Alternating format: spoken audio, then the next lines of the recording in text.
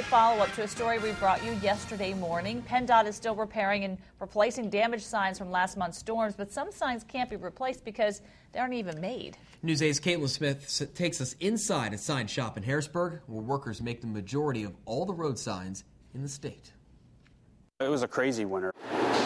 We went from no snow, busy, to a lot of snow, still busy, and then no snow and still busy. Sign orders are coming in from all over the state. A lot of detour signs. But mostly these workers are replacing damaged signs and having a little deja vu because of it. It's like, wow, they came back. I just made them. And here's one that was damaged, probably hit by uh, a vehicle or some kind and was knocked down.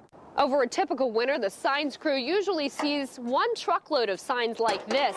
But this winter, this is already the second truckload, and there are more signs just waiting to be loaded up. But the good news is all of these signs can be recycled. And the money goes back towards lowering the cost of signs to the counties. Depending on the sign, making a new one can cost anywhere from $6 to $3,000. And the counties expect the signs on time. The 12 person crew has two weeks to fill the orders. We did get behind, um, but we're finally catching up. And that's also good news because the real busy season is just beginning construction season. So that just adds to the pressure. Katelyn Smith, News 8. And to get ahead, the shop makes generic orange construction signs, so when the orders of what to write on them actually come in, they're already halfway done.